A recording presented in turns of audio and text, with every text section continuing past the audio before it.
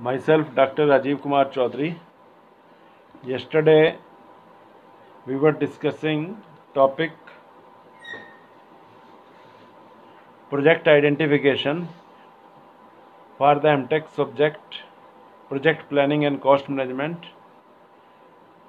In this topic we are studying that how the selection of project is done, what are the factors to be considered and yesterday we have discussed selection of new idea how the idea is selected.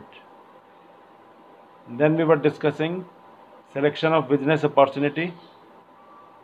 In this we have already discussed compatibility with the promoter and consistency with the government priorities. So now we proceed further next point is availability of the inputs. Are the capital requirements of the project within manageable limits? It means that how much funding will be required? That whether the management will be able to provide the funds whether it is within the manageable limits or not. Next is can the technical know-how required for the project can be obtained. For example if any telecom company is launching new project so what kind of technology it is launching 4g 5g or suppose is there is technical know-how available or not? Or the raw materials required for the project available domestically at reasonable cost? So it depends where you are going to setting up industry. For example if you are setting up industry textile industry in Bhilwara weaving then you will be getting all the facilities at reasonable cost. If you are going to manufacture sarees you will get facilities in Surat. Similarly for all kinds of industry we will have to see that whether the raw material is available at reasonable cost or not. Next is power supply for the project reasonably obtainable from external sources. But how much are the power requirements? Because there is a lot of fluctuation in the rates from one state to another. And what is the rate of the power that is important because power is required in every industry and it affects the economy of the project and your margin also. Next point is adequacy of the market. So, in this total present domestic market, it depends competitor and their market share. So, whenever we are going to start a new project, we will have to analyze that how many competitors are there and how much is their market share and how much share we are expecting and how much share we will be penetrating.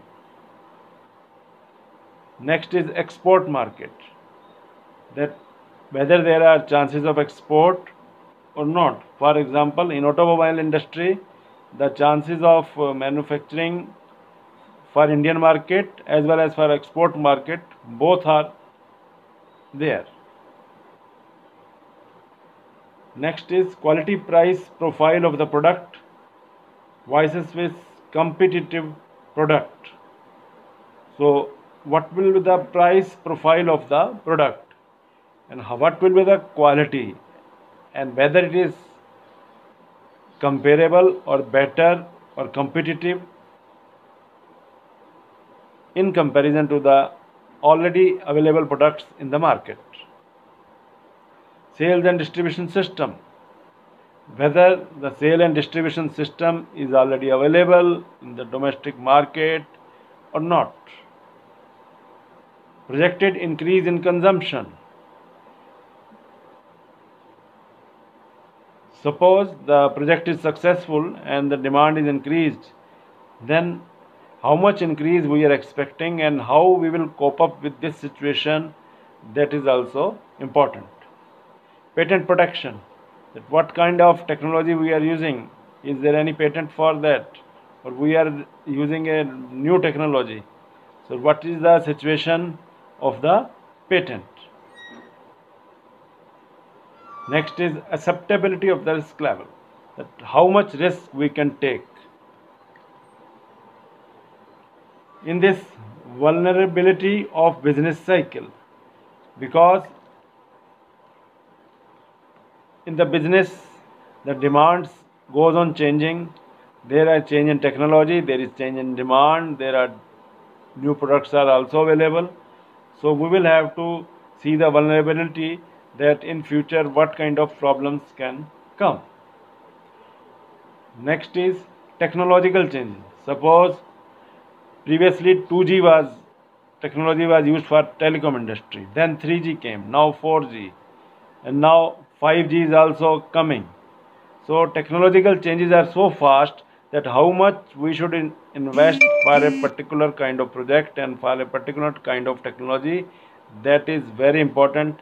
A company who is not able to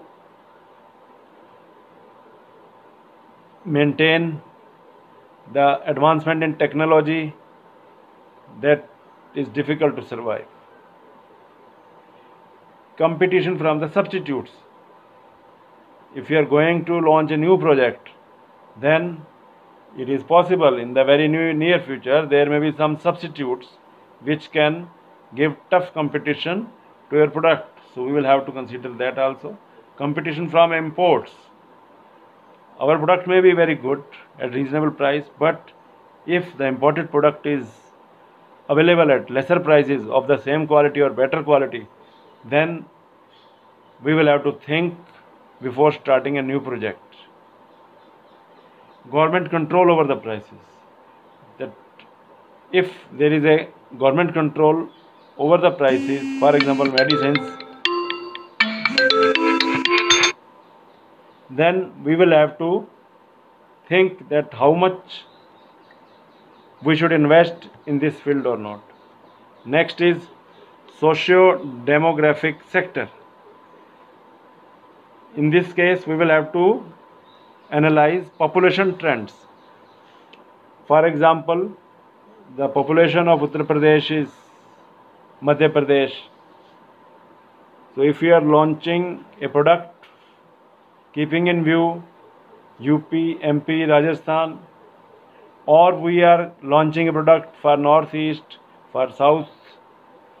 So we will have to see their taste, their demand and market requirements and customer requirement. Income distribution. Then how much is the income?